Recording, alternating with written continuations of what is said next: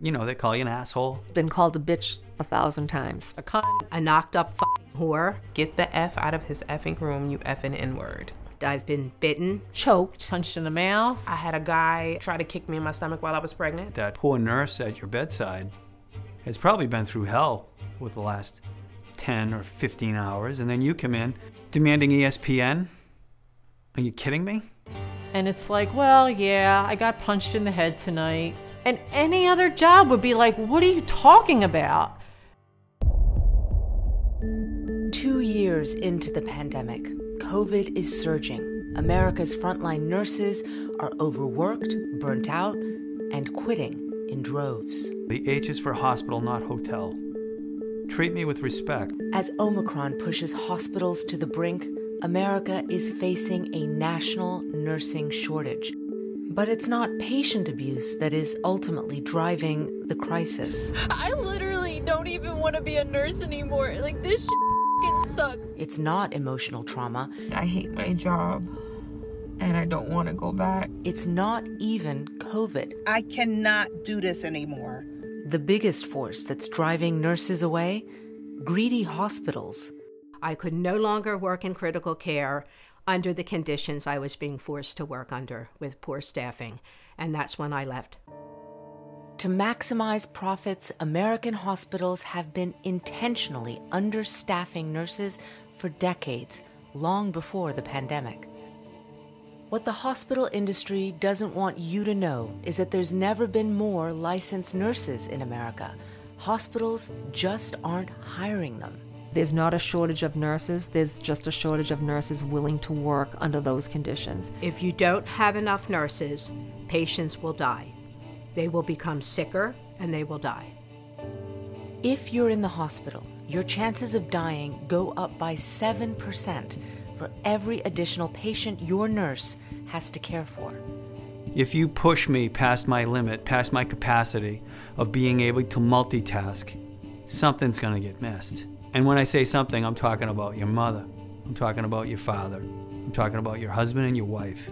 There have been many instances where patients that die that shouldn't have died. I know that unequivocally. Families, they feel like you've done the best job that you can. And the reality is, we're not. I could not get into her room for over two hours. When I did get into the room, she had tears in her eyes. She was crying and holding on to me. And when I looked in her bed, she was soiled in urine. I felt like I did a bad job. I felt less than the nurse that I know I am. And I started to cry all the way home. Can I make another shift? Can I do this again tomorrow? Get in my car and drive here and do this again. The system was already broken. COVID has just made it way worse. In one 12 hour shift, we had six patients die under the age of 50. And as quickly as they got those beds cleaned, there was more patients there. A patient grabbed my hand and he he begged me to not let him die. I'm sorry. And I told him that we would do everything we could within our power. And I felt like I was ready to fall apart, but I couldn't because the patient in the next room needed me. To understand how the situation became so desperate, you have to remember that hospitals are just like any other business. Staffing takes up about half the budget, so a smaller workforce means bigger profits. Hospitals use this type of what, what they call flex staffing. So they flex for just the bare minimum at that hour of the day. And then three hours goes by, there's many more patients, and then it's, well, you have this many nurses, you'll have to just make do. The most annoying thing that was ever said to me in my career by an administrator was, We know you guys need nurses, but it's not in the budget. The situation is dire. More than 40% of nurses are thinking of leaving the profession.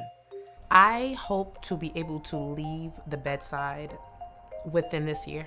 I don't know how long I can do this. Um, physically, mentally, emotionally. I will never work in a hospital setting again. I will never subject myself to that sort of frustration, and I will never be part of what's being done to patients in a hospital that way.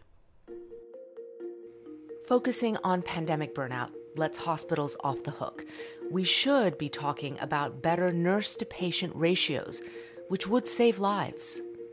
There really needs to be a systemic change from a legislative standpoint. Why wouldn't you limit the number of patients, human lives that nurses hold in their hands every day to a certain amount that's safe? The solution is simple pass common sense laws that limit the number of patients for each nurse.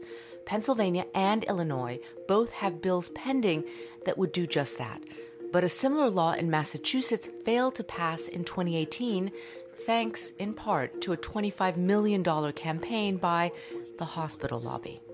It puts government in charge of deciding how nurses care for patients with the same rigid staffing ratios at every hospital in our state. A one size fits all attempt to override the professional judgment of nurses. The problem with these ads, they're misleading.